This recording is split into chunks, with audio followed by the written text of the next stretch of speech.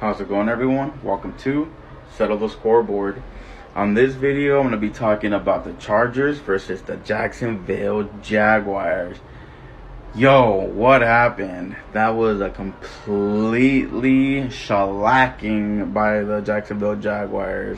That was embarrassing. And not because I think the Jags are a bad team. I really don't. I personally think Trevor Lawrence is still going to be a good QB in this league. Doug Pederson is a solid head coach. And that defense is solid. I mean, they have really nice pieces there. But it's embarrassing and because we were all hyping this up like yo Justin is going to play. If we have Justin, we can win and we had Justin and still lost. So that begs the question, like, what else could it be, you know?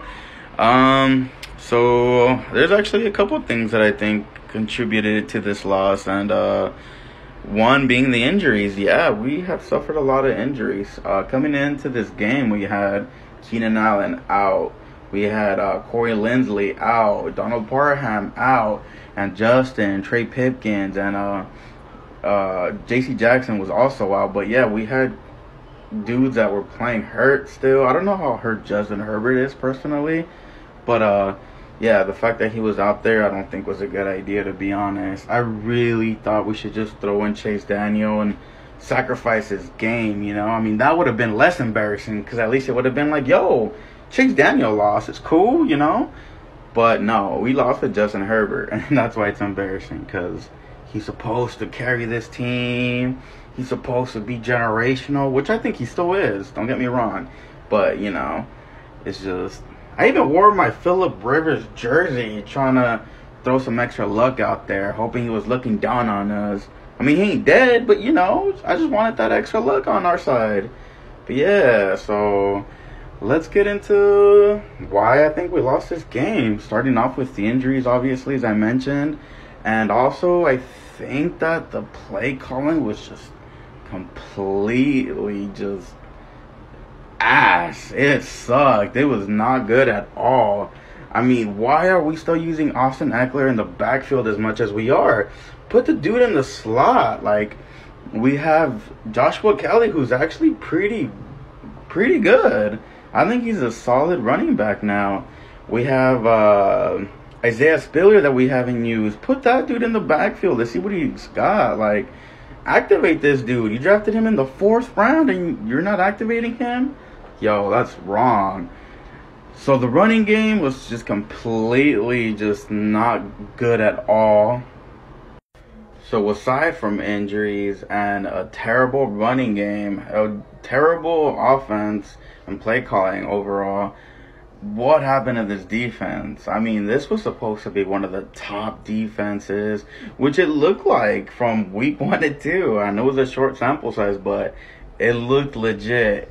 And yeah, it did not look like anything that we we saw from week one to two. This game was just terrible as soon as Joey Bosa went out, it was a wrap. Like there were no plays being made on defense aside from Derwin James, but that's just Derwin James. That's what he does. But we couldn't get anything. We couldn't get any stops. They were just throwing on us or running on us. This defense does not look like it's been fixed. Uh, the run defense, that is, it does not look like it's been fixed at all the every team is still running on us. I mean, I thought it was just oh, it's Josh Jacobs. You know, he's decent. Oh, it's Clyde Edwards Helaire. He had like uh he had a run on us for like I don't know, 40, 50 something yards or something and I was like, "All right, he's just one." But now like the Jacksonville Jaguars are just running and running and running on us like I don't know what that was. So aside from the offense and defense, like I'm starting to question this coaching staff. Like I'm not gonna be the guy, yo, fire Lombardi, fire Staley. Like no, let's let's put the brakes on that real quick for a little bit at least.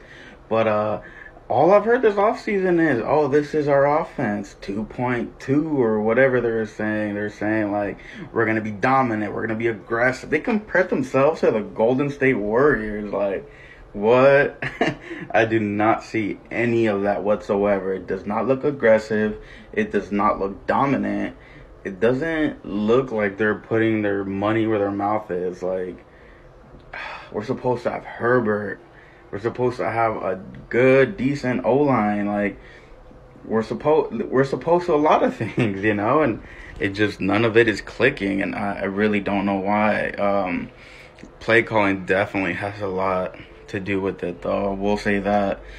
But now let's, I guess, let's go talk about the upsides if there is any really? I mean there should be some right? Let's talk about it. Um one is that at least the chiefs and the raiders lost and the last time i checked the score the broncos were still losing to the niners. So the afc west that looks like it's up for grabs. I mean it's terrible as we're looking and i don't think that we really have a lot going right now. Uh, neither does neither do the Raiders. Uh, the Chiefs are obviously missing Tyreek Hill.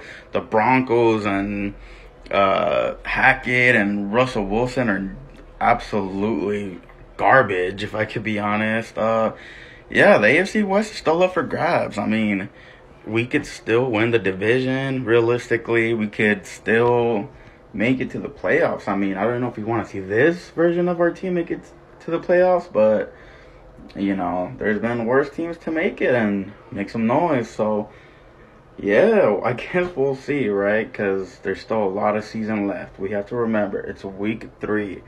Uh, if any time for there to be injuries, I guess early on in the season, right, where we could get everybody back healthy to make the playoff run.